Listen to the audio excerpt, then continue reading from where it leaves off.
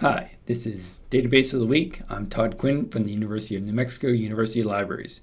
This week we're actually going to cover two databases because they both cover country reports. So the one database is called Business Source Complete and there's two different types of reports in there.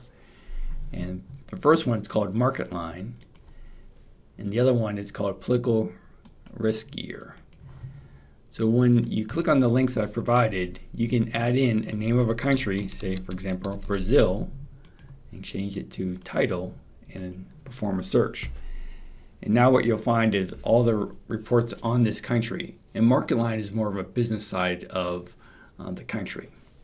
But you'll notice it's 88 pages, so it's going to be in depth. The other one in the same database, Business Source Complete, is about political risk. So if we do the same thing, we're going to get a different report on Brazil, but from more of a political side of things. And here we have a 22 page report on Brazil from that point of view. So you get two quick reports or two reports of the country. The other database is called um, reports are kind of D&B country risk. And again, these are more from a business side, but they can provide in-depth information for international studies.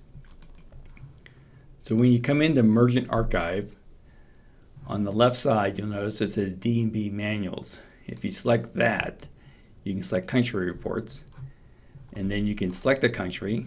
So if I pick, say, the Americas, and I'll go down to Brazil again and hit search. And then I'll reverse the order. So here we have reports on Brazil that you can download.